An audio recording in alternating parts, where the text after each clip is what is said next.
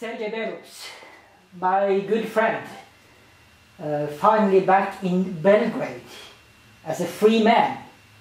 And as we saw in the picture in the beginning of the video, you came back to uh, the airport in Belgrade with uh, your mom and I was also there. And you got your bag of Nesquik.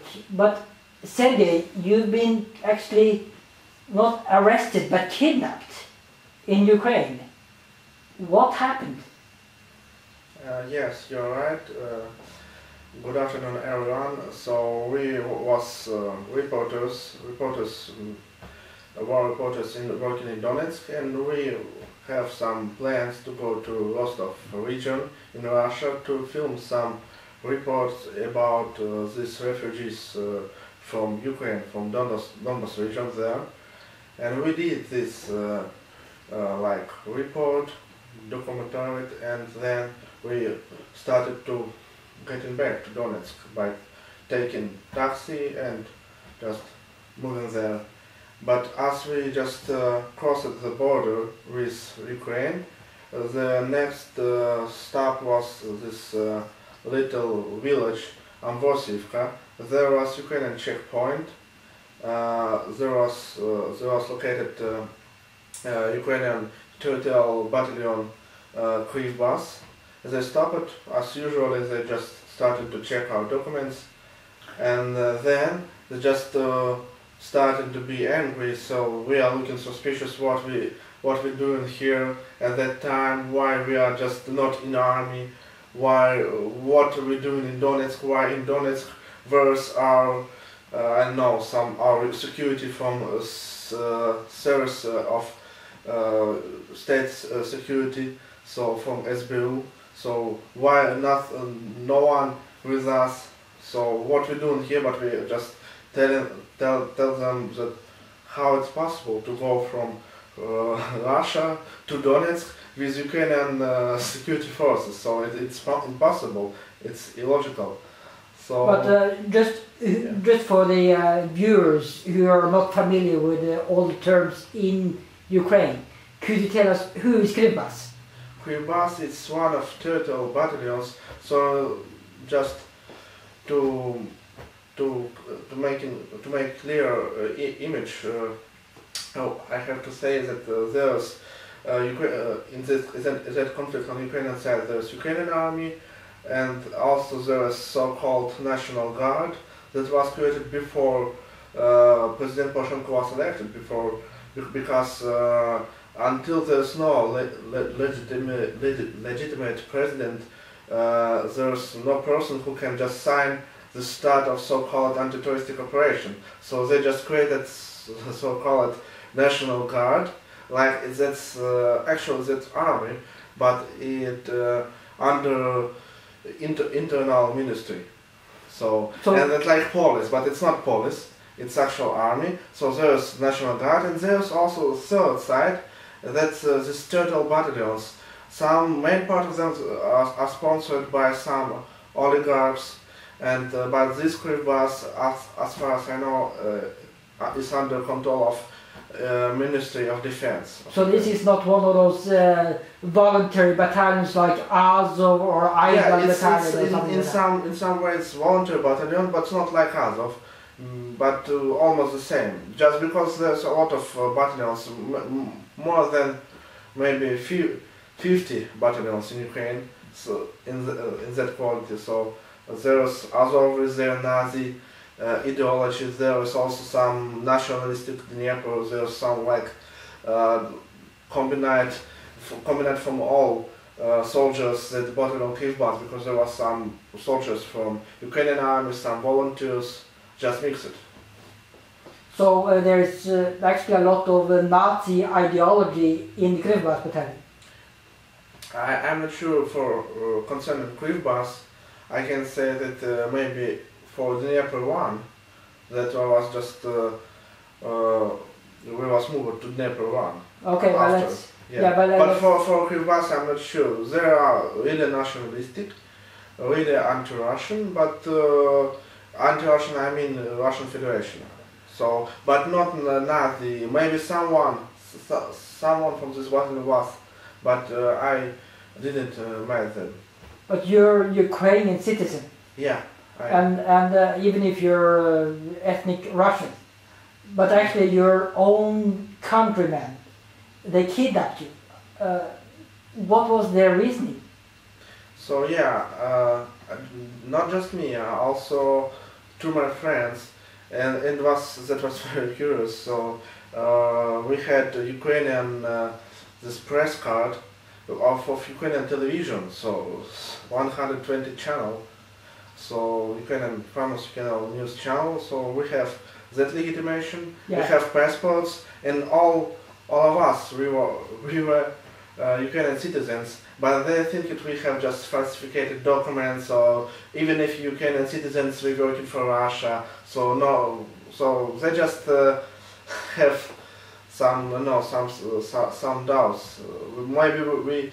we will look at suspicious, but I'm, I don't think so because we have uh, all, all just uh, filmed uh, videos of these refugee camps, so it was clear that we was doing this uh, this stuff. So just to, on the record, this was your colleague Sergei and Roman. What was their last names again? Uh, Gnatyuk, Roman Gnatyuk, Sergei Boyko. Uh-huh. Uh, so you were working all for uh, 120 television. Yeah, yeah. At that moment, yes.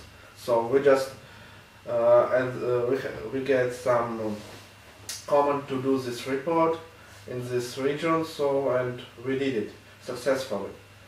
So and we just was uh, on the way to Donetsk back.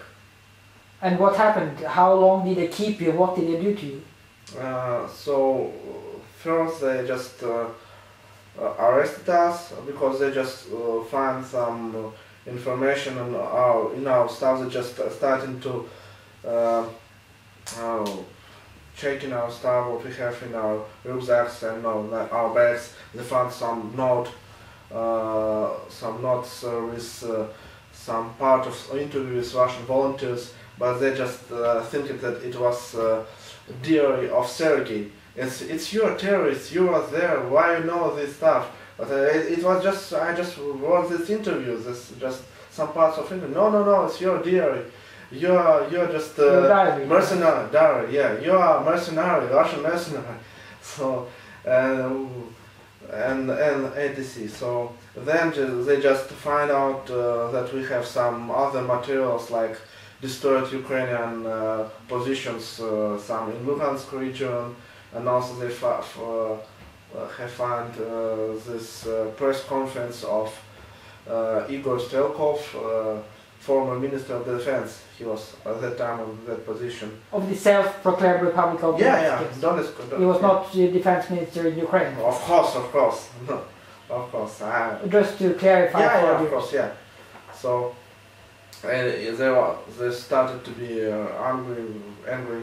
Why, why we did you film that, that interview? Well, we saying it's not interviews. It's just press conference. There was CNN, uh, ABC. I don't know a lot of uh, main parts. There was uh, Western televisions, so Western channels, Western press.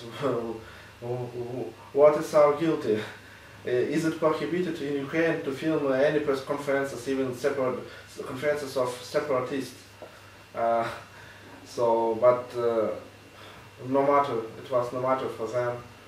They didn't care about it, so they just uh, uh, kept us uh, first time just uh, was uh, uh, taking this so-called uh, this uh, Scotch stride and just Yeah, they, they uh, mistreated you. They beat you also. Not, No? they, they wanted, but they didn't start it because we were just uh, kept it from sometimes just like uh, little like uh, there was some uh, near this road there was like st- stripe from this uh, like little wood woman like, so we was there and uh, we wait for some time and uh, there the, commander of this whole that li- little unit ca- came he said, why did you, why you arrested them? Why, why they just uh, Im, im, was im, immobilized, so just like this. With duct tape. What? With duct tape. Yeah, I yeah. think it's called, Uh, yeah. So, uh, and uh, he just take this knife and just cut it. It was uh, uh, glad, and then they said, okay, so go to eat something this for dinner. we have good conversation, good dinner. Uh, he, they prepared some place to sleep. It was okay after that, but uh, we had some dialogues with them. So, but then they were just, uh, they said, okay, you have to wait some time for morning, they will just, uh, some, uh, the uh, general command, they will just send some car to pick up you and you'll go, so you will give some information, some, then some conversation to figure out who you are. Okay, so did they inform the Ministry of Defense in Kiev? No, they didn't. They even prohibited us to contact SBU, so Security Service of Ukraine, even uh, reduction. Uh, uh, I mean, uh, this um, uh, the head, 120 card. television? Yeah, Yes. So we have visit cards. So okay, you can just you can call them, can they check who we are. So you can call SBU and ADC. So but they didn't, and they prohibited us to do it, and uh, unfortunately uh, they just uh, violated Ukrainian uh, uh, law because uh, first they have to clarify why we was uh, stopped, why we was arrested for a few uh, hours. After three hours, they have to uh, making some uh, Charges yeah, against you? char- yeah, charge. What was the reason? And after after one day, so like uh, 24 hours, uh, have to be some decision of some court or some some police. But there was nothing like this. So This was August 1st, yes? yeah, this was August first. Yeah, August first. And on second August, uh, we just waited a whole morning until I guess uh, one, uh, like one one p.m. So and then some car came to pick up us and move to that uh, uh, that generals. I don't know how how to say that. General Staff. So general, yeah, Uh, I- I mean, headquarters. yeah, headquarters of general staff of Kryvbas Battalion. So Where is that located?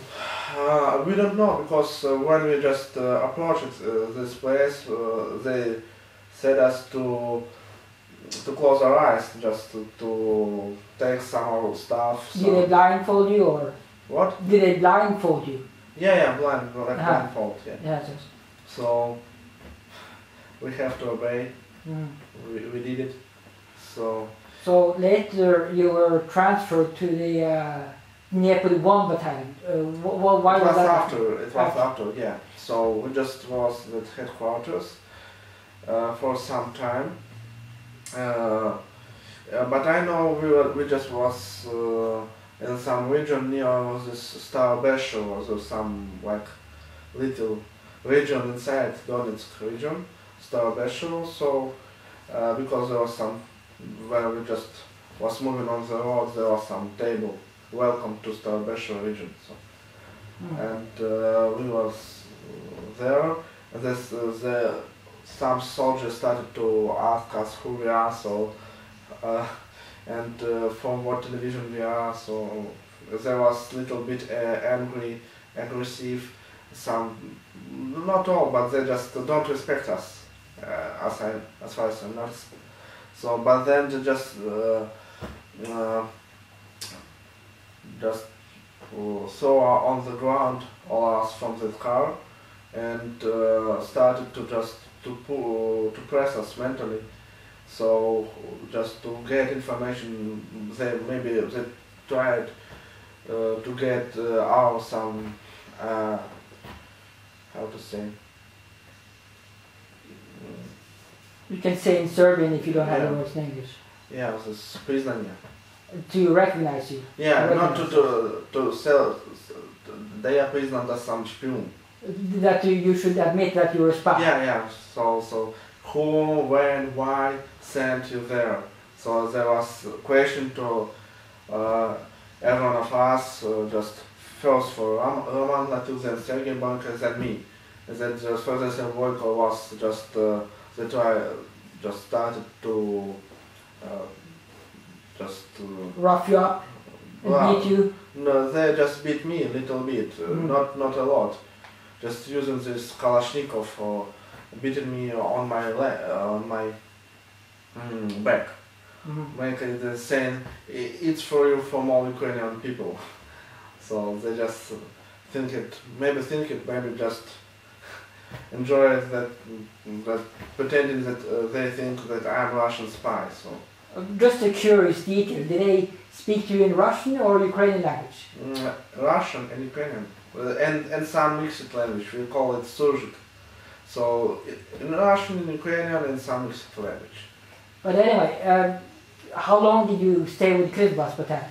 It was just a few hours, and then we just was uh, thrown to into the cars, and we was moved to Mariupol. Uh, we are after we just uh, understand that we are in we was in Mariupol, but at that moment we didn't know where we going.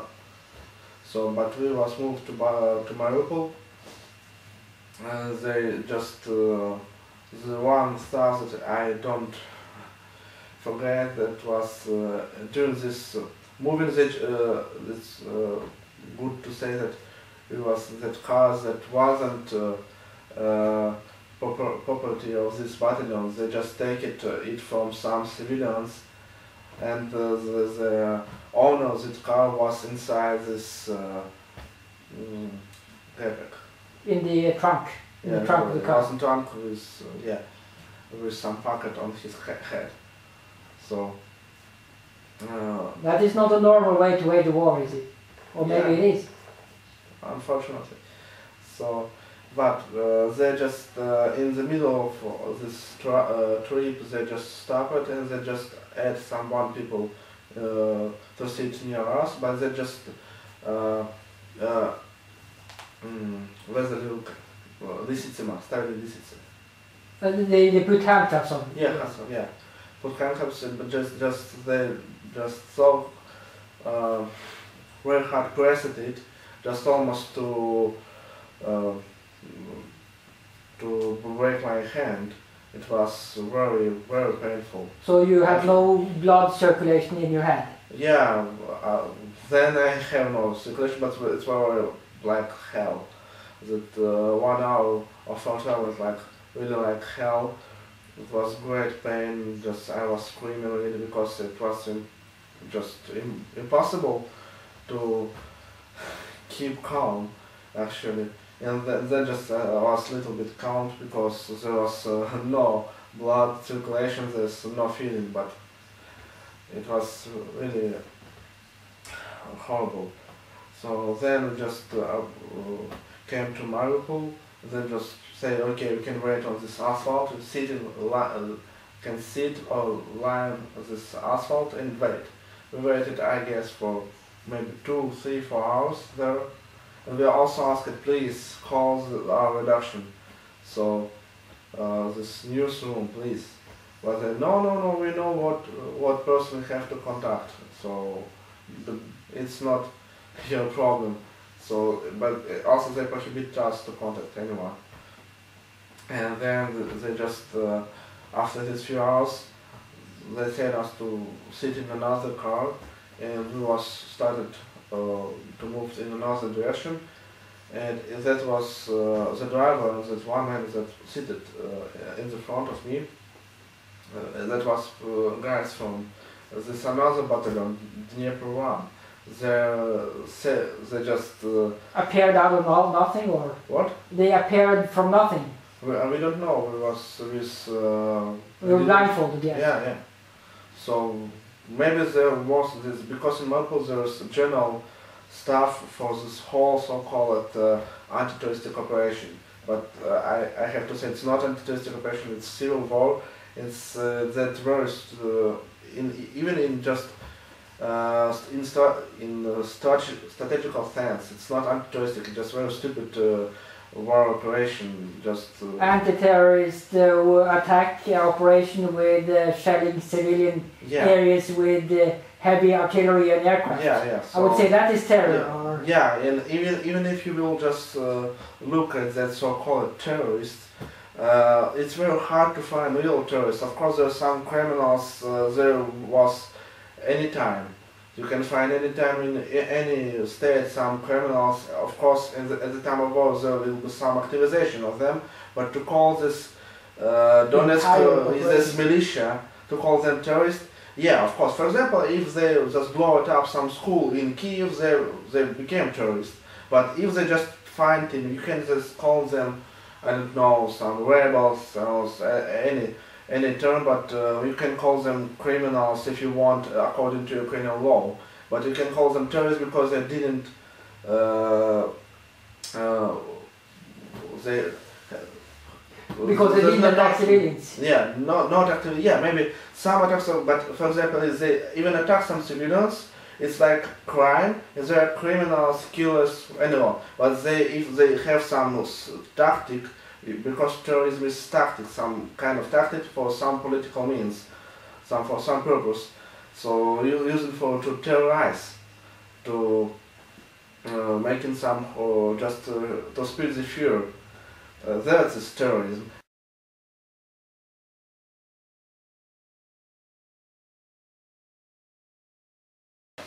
Sergey, uh, tell me more about this uh, Dnieper 1 battalion who uh, Krivbas battalion gave you to. Yeah, so this uh, Dnieper 1 battalion is the battalion so-called uh, of uh, battalion that, uh, of territorial defense. So, uh, and it's uh, uh, famous because it was financed by Ukrainian oligarch uh, Igor Kolomoisky, the one of the most powerful men in Ukraine. And uh, but uh, this battalion is under command of Interior Ministry. So actually, uh, I was uh, calling a source in Washington D.C. on Monday night. I mean, you were kidnapped on Friday night. Uh, evening, yeah. Yes, and uh, actually, what does it mean to you that uh, in Washington D.C. the uh, Ukrainian government said that you would be released on Monday night? What does that mean about Ukrainian government's knowledge about your kidnapping? Yeah, I guess they knew that I was kidnapped. They knew it for sure uh, because we was in the Mariupol. So they just registered us as arrested persons. So they have to know about us. Maybe I'm sure they was informed about it. So then we were just was transferred to Dnipropetrovsk region to some uh, uh, base, uh, military base of Dnieper 1.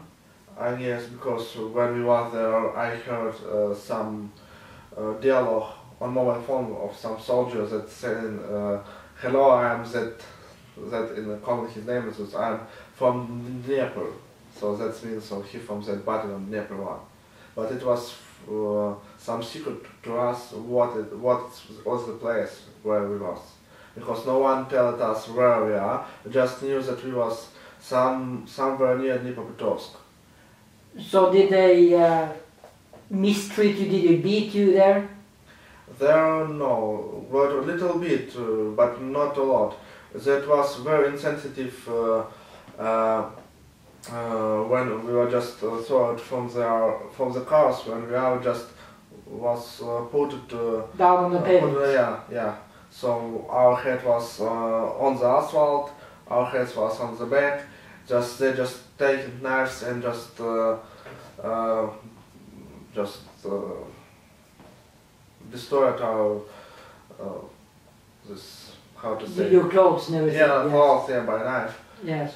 So, just, uh, how do you just to uh, immobilize our hands. Yeah, yeah, all they tied your hands. tied, yeah, our, our hands on our back and just uh, uh, pushed down into uh, 90 degrees and just lead us uh, to, some place by bed, so like this. So it was horrible, and they just very was uh, aggressive when it was just uh, when we arrived there, and then just after, uh, I guess maybe one day after one day we were supposed to be uh, shooted. So So you were actually afraid for your life? a little bit yes at that moment was very uh, very really i was a little bit some- Dnepropetrovsk. Yeah, it's not the. I'm. I'm. I'm think it's not was Dnipropetrovsk, but some somewhere near. Close there. Yeah, somewhere close to Dnipropetrovsk, and I think uh, they have some plans to shoot us. So, but uh, But uh, Sergey, yeah, um, you're also a Christian. You believe in Jesus yeah. in your life. Right. Uh, how did that help you in this situation? Yeah, it was very helpful. It it uh, gave me hope in that situation and understanding that all all what's going on in that moment is in uh, God's hand. Uh, when you were uh, kidnapped there, you also had a chance to witness about your faith to, to Sergei and Roman. How did they react to your faith? Yes, I knew about my faith before, and so there was no big change to to give some full witness. But there was a moment where I was very close to be killed. So I heard some uh, whisper of Sergei. He said, uh, "Sergei, please pray, because nothing else can help us at this moment. Uh, it seems like we will not be. there's no chance to survive anymore. So just uh, your prayer can help." So in Sergei usually uh, used to be very sarcastic about my faith. He he just uh, often la- laughed at looking at me, at my uh, my faith and my lifestyle, Christian lifestyle. He don't believe in God, Hmm. but uh, when he was in such situation, he changed changed his mind and asked me to pray. But I already prayed and just uh, just uh, said to him very short this uh, prayer for to repent. Just Mhm. so he have chance to repent uh, before God. That's wonderful.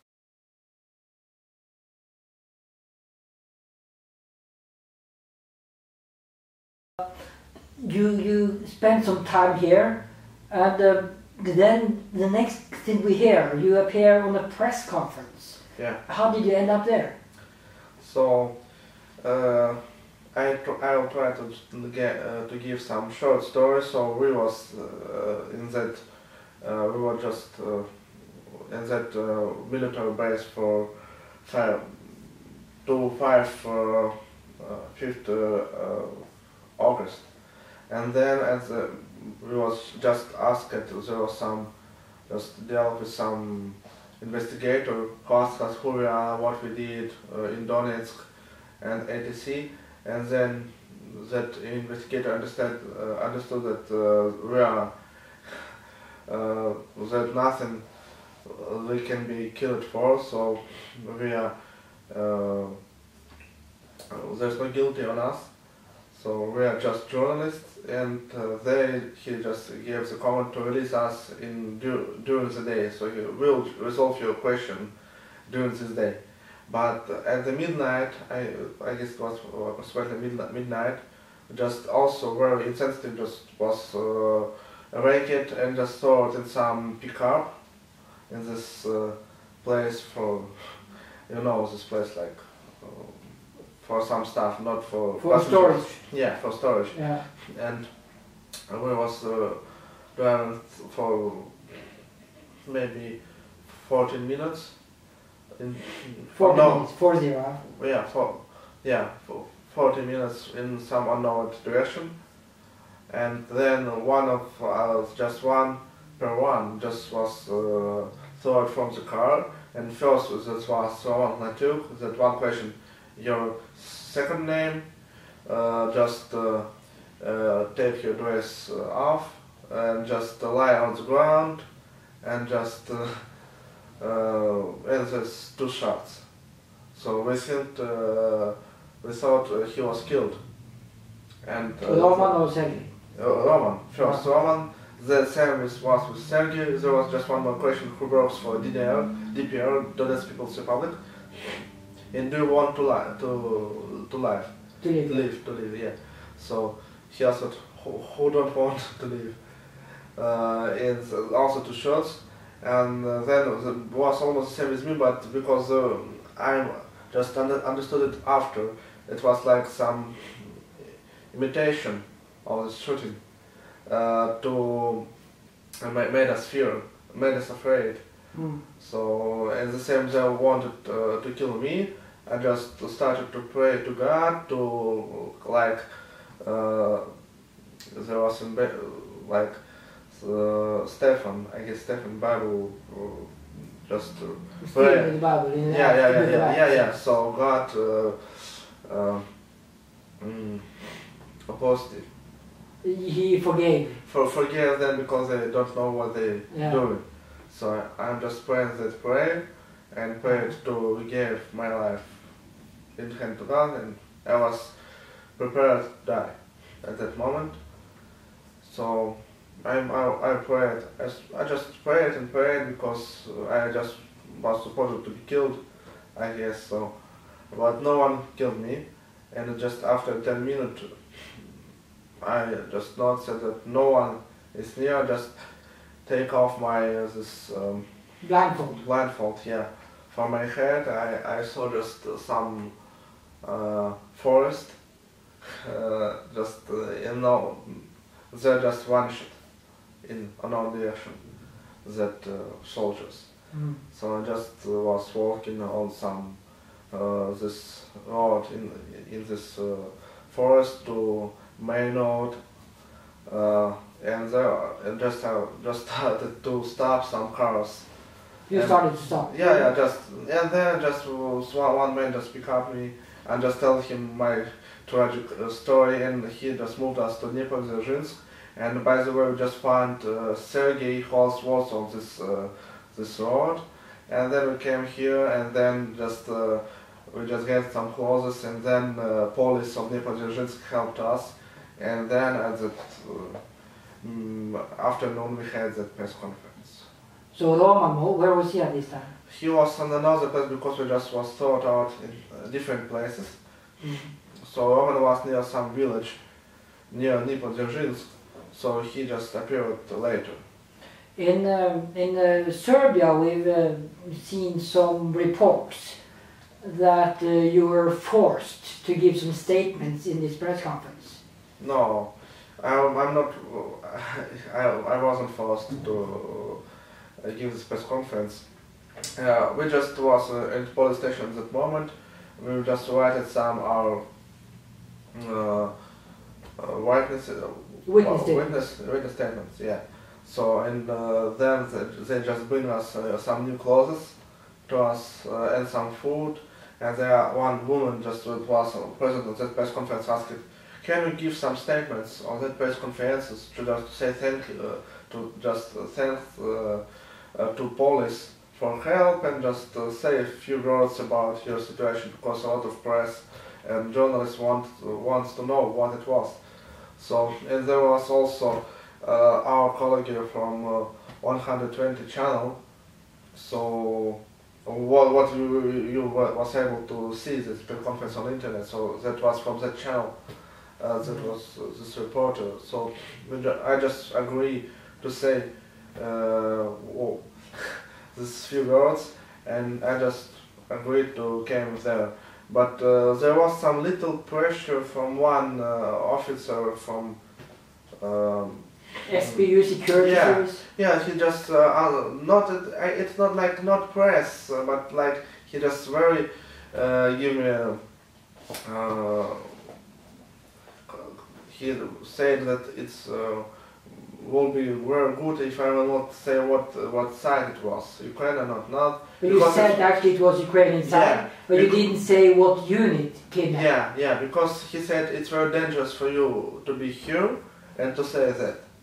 Because it's very dangerous, it's be- better not to say here in that place. So it was like some counsel he gave. But but this must have been a very embarrassing situation for the Ukrainian government. I presume that uh, Yeah, police because there- it was very great scandal. Even the SBU chief Nalyvaichenko was under this pressure uh, because of our situation. There was great scandal in uh, interior, interior ministry and uh, in uh, SBU and another services. So there was a lot, a lot of conflicts and scandals, and even in uh, this defense uh, uh, ministry. So So I mean, the, the interior ministry they have command of both the Dnieper one Yeah, battalion and the police. yeah, And now the police have initiated an investigation yeah, about this kidnapping. So they actually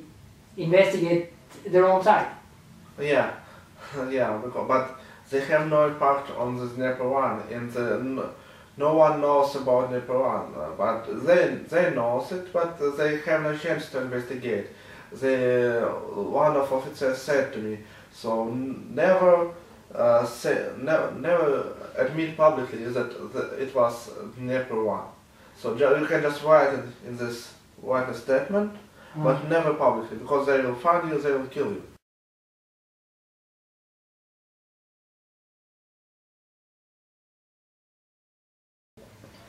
Sergey, you eventually made it to uh, Kiev, Yeah. where you got in contact with the uh, Ukrainian Union of Journalists and uh, the International Federation of Journalists, who I believe they're upset about the journalists being kidnapped by the government of Ukraine. What kind of legal assistance can they give you? Uh, yeah, they give me a lot of advices. They just made this lawsuit for Ukrainian government, for min- uh, internal ministry, and they started to to, to make uh, this whole process to move this uh, uh, case to general prosecution. So because it's uh, real uh, the zone of their uh, They, they, they, it's in their interest yeah they, to, to protect the rights of journalists yeah of course and they, that they're also honest. uh, They, they're a responsibility. responsibility because Yes. yes, that's, that's their responsibility, not just some local police uh, investigators, but to, to it have to be uh, investigated uh, in uh, general prosecution. So uh, we just uh, give them all information. So and when we just hope then that we give. That we give them some chance to apologize before us, to this government, and we just uh, uh, hope that uh, maybe they will give us some uh, compensation Because they took your equipment, oh, uh, yeah. everything. for all equipment they took for took from us. Bulletproof this- vest, video yeah. cameras, everything. Yeah, there's both bulletproof vest, video cameras, photo cameras, tablets, uh, laptops, uh, and all our stuff. It's a great amount of money. So And, also uh, the mental distress, leaving you Yeah. naked on the side of the road, of course. Yeah, of course, but uh, yeah, but uh, first of all, I'm just uh, very worried for this uh, all equipment because the main part of this agreement wasn't mine. It was of my friends. Uh, some part it was yours. So just uh, I don't want to be in some debt, and I have an opportunity to pay this debt uh, financially. So I hope they just give me back that money because they took it from me illegally. Uh, Because some people say this is uh, fascist junta and everything. Maybe this is not the most uh, useful language, but you seem to have some faith in the legal processes in Ukraine that you can actually win a lawsuit. Uh, so I never use use this uh, phrase fa- fascistic junta because I don't believe that it is fascistic junta in uh, this uh, real sense because uh, there's no uh, real I mean sincere fascist they're just opportunists who use some ultra nationalistic uh, rhetoric they're not um, some part of course they may be like almost like na- Nazi, some some people in government, but they are not in key positions. So, but of course they're using uh, this ultra nationalistic rhetoric, but they're not uh, sincere fascist. It's not so strong like junta because junta is uh, you know military people. There's no lot military people in government. So maybe in the their uh, in their actions they're worse than some junta. for for all Ukraine, but uh, it's not an appropriate uh, definition for them. But uh, I don't, I have not much uh, belief in that uh, lawsuit for for Ukrainian government because uh, we can see every day, and I saw it personally how much there's uh, injustice now in Ukraine. So Mm. On, there's a on all little sides. chance. Yeah. On all sides also, uh, All on sides, the Russian yeah. side, I mean, you also have a, a, a close friend, a journalist, Yeah. who has been actually kidnapped and severely beaten by Russian Cossack forces. Yeah, so but there I have little bit more belief for some uh, military tribunal because he yes he was kidnapped, he was uh, hard beaten, uh, hardly beaten. He just uh, was uh, in very very uh, very damaged, and he lost also his documents, lost his also equipment. But it was that was committed by these Cossacks but they are independent, so they just are not under command of uh, Lugansk People's Republic, not Donetsk People's Republic. They just uh, waging uh, their own war. Yes, like uh, in some little coordination with other forces, but not uh, under their command. And all of that forces don't like them because of that uh, a lot of these crimes. And there soon they will be under this tribunal. You there- led by the Donetsk People's Republic in uh, in uh, Donetsk or Luhansk. Look, I guess uh, they will just be judged by Luhansk. Yeah, I see. the, uh, uh, People's Republic because uh, uh, they were so real. Uh, they they committed a lot of uh, crimes. I know about other just cases with, uh, with journalists about another problems, but they just took my friend and uh, just kidnapped actually, and he was uh, seven days in prison uh, in just very horrible situation and was uh, he came out from this prison uh, in very horrible uh, condition, yeah, he condition, yeah. physically beaten and uh, and uh, mentally tortured, probably. not mentally just so Yeah. he was touched not just mentally I don't know Physi- physically, he was Physically, severely yeah. beaten, yes. No, not just beaten. There's a lot of other details I don't want to speak No, about it uh, still because you are not in a secure position now, not in secure place. But uh, I know people who was from this side, from Luhansk side, who was very interested in that situation, and they say that it is uh, um, uh, just uh, and also uh, just uh, like authority, Authority. like yes, authority Yeah. of Lu- Lugansk Republic. So just it's uh, working against their image, so it has to be judged. Mm. So uh, there's some hope that it, it will be conducted, but uh, I actually I have less hope for Ukrainian for Ukrainian case for my case. So actually, is what you're saying that the rule of law for journalists Yeah. is better on the uh, on the Russian rebel side, uh, on the separatist side, than the Ukrainian government side? Uh, it's difficult to say because we don't know about a lot of situations. Because, for example, uh, not just me and my two friends was uh, in, in jail of that uh, was kidnapped uh, from Ukrainian side. There was also uh, at least th- at um, at that moment when I was kids, that was just three situations like like our like our own. So that was also Ukrainian journalist was kidnapped.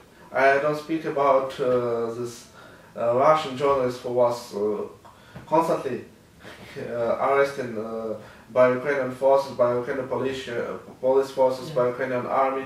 So it was not safe for them to work on Ukrainian side. Of course, there's uh, some situations uh, on uh, this Lugansk People's Power, Donetsk People's Power, but, but, but less. And I, as far as I know, for example, a few cases uh, where there was in Lugansk People's Republic, there was just two days, just was uh, two days in, in jail, and just was uh, le- set it free. And nothing, uh, they they did nothing to them, nothing, just Yes.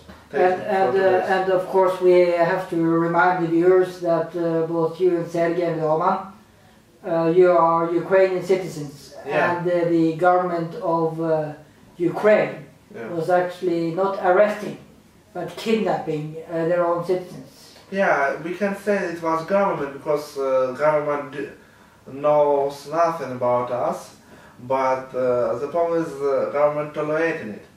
They just have some. There was some uh, noise, some uh, conflict, some scandals when we just appeared after this uh, kidnapping, but after that it was calmed, and nothing. And now it's nothing. No, no investigation, no money, nothing. Uh, glory to God, we gave, uh, we received some help to make, uh, to issue new passports. Yes, little bit there was helpful, but it was just after we pushed it and we started to ask this help from this one of uh, this uh, counselor of uh, inter minister. So he uh, gave uh, his permission to issue passports to us urgently. So it just was uh, one point of that help that we get, received. So just So, uh, Celia, it has been a great pleasure uh, hearing your story, and I think it's a story. Uh, a lot of people, I mean, we're speaking in English, you're giving your first interview in English, and I appreciate that you do the effort. But I, I do think that people in the West uh, really need to get a clear understanding of uh, what is going on in Ukraine, and uh, we just have to continue to work for the safety of journalists, no matter if they're sympathetic to the Ukrainian or Russian or whatever side. Thank you very much. thank you.